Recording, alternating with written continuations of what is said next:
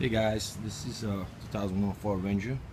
I had electrical problems in this car and uh, this is the fifth day um, trying to look for short wire in this car.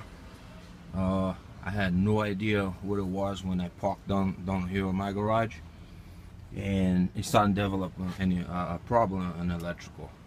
Uh, fuel pump, uh, no signal lights was working and all this stuff and it drive me nuts.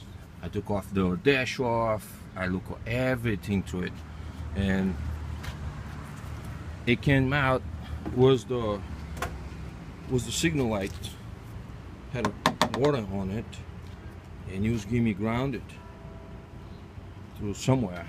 So I take this out. See this full of water here? See the water halfway?